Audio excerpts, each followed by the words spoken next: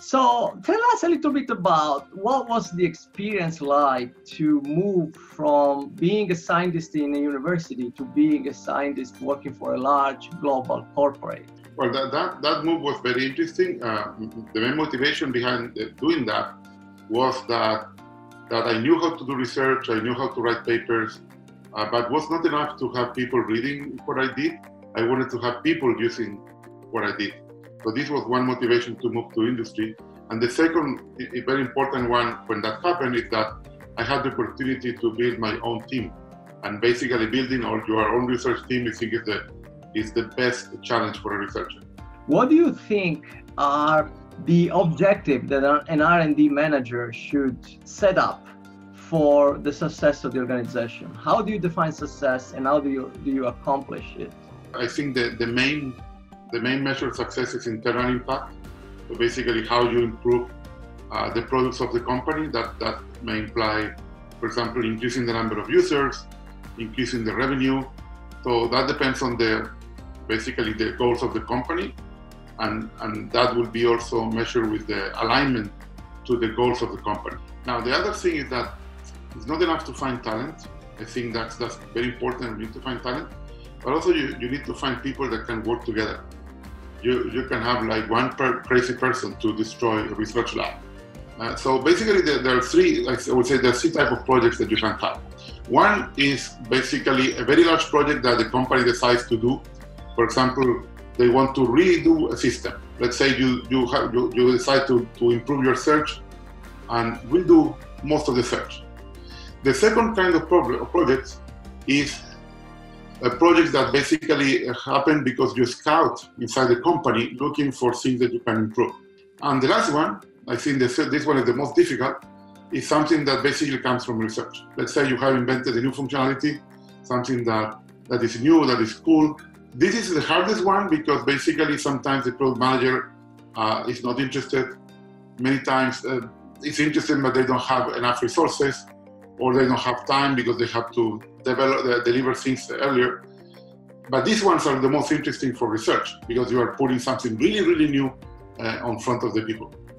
So I think it would help our audience to understand a little bit more what you're doing today and uh, how the process is different. The R&D, if you like, process is different than it, used to be in a large company. Yeah, so so we do semantic search technology um, by using both uh, text queries and also voice queries.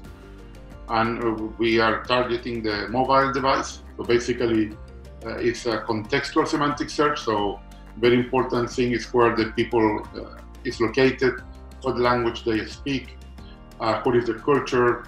Uh, we use a lot of private data that, that become, we come from typically our clients are telcos and, and the data comes from them.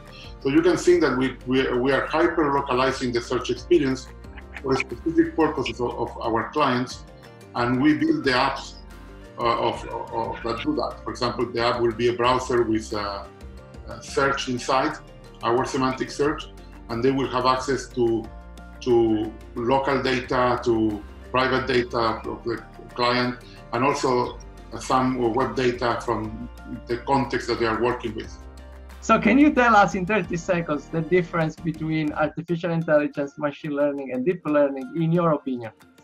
Well, I, I always get uh, like a bit uh, mad when I read artificial intelligence and machine learning, because that would be like to say the egg and the yolk. So they don't understand that deep learning is a particular class of techniques inside machine learning, and that machine learning is a field that comes from artificial intelligence. And of course, artificial intelligence has much more. It has, has semantic technology, has knowledge bases, has ontologies.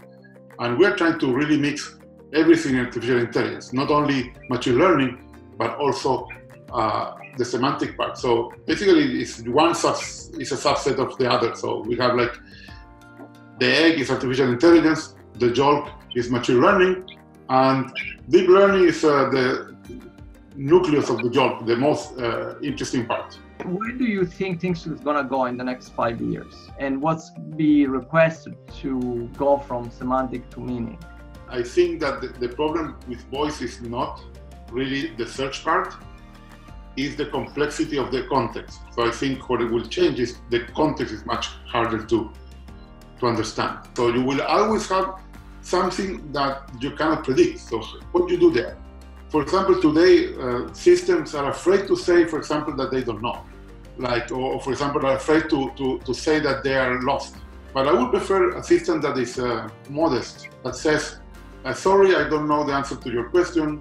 Or, for example, will say, I'm not sure if you're asking about this or about this. Can you precise?